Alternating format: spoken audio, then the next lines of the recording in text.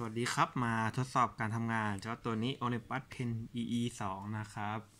ก็จะเป็นรุ่นที่เหมือนกับ EE 3นี่แหละ แต่ว่ามันแค่คนละบอดี้คนละสีกันเท่านั้นเองนะครับ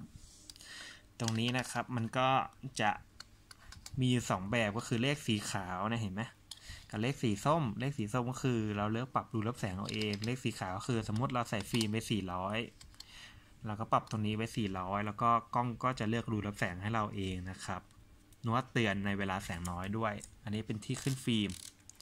ขึ้นสุดแล้วจะเลื่อนต่อไม่ได้นะครับ แบบนี้เราก็กดถ่ายได้เลยนะครับ ถ้าแสงมากพอก็กดถ่ายได้เลย ก็ขึ้นฟิล์มรูปต่อไปได้ แบบนี้ แต่ถ้าเมื่อไหร่ที่แสงมันน้อยไปนะครับ ผมลองเอามือบังหน้าเลนเนะปุ๊บมันก็จะมีสีแดงขึ้นในช่องมองแบบนี้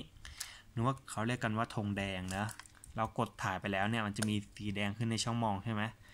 ตรงนี้เราก็จะขึ้นฟิล์มต่อไปไม่ได้นะครับ นอกจากเราไปหาที่สว่างแล้วกดถ่ายใหม่ปุ๊บมันก็จะเลื่อนต่อได้นะนะครับเลขนะฟิล์มเนี่ยมันก็จะค่อยๆเลื่อนนะ อย่าใจร้อนนะเนี่ย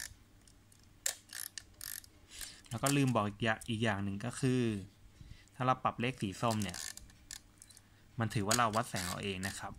ผมบังหน้าเลนยังไงมันก็ไม่ขึ้นเตือนเนาะ นะครับ อันนี้เปิดฝาหลัง